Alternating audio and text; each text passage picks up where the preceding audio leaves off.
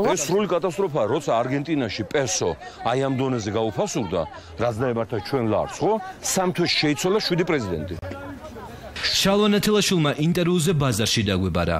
იმისთვის რომ 2016 წლის მძიმე შედეგები და 2017 სრული უპერსპექტივობა ნათლად ეჩვენებინა.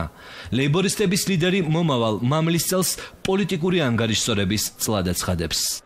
განული წელი იმიტომ გახდათ გრევის, კოლაფსის და არნახული ქაოსის ჟამი, რომ ივანიშვილის დანაშაულებრივმა დაჯგუფებამ მიითვისა არა მარტო ქვეყნის ეროვნული სიმდიდრე, არა მარტო ქვეყნის საფინანსო სისტემა და მათ შორის ამ მიზნისათვის გააუფასურა ეროვნული ვალუტა, რომ განსხვავება არჩევნებში დახარჯული ამოიღოს ათმაგად, არამედ ხელისუფლების უზურპაციის წელიც გახდათ.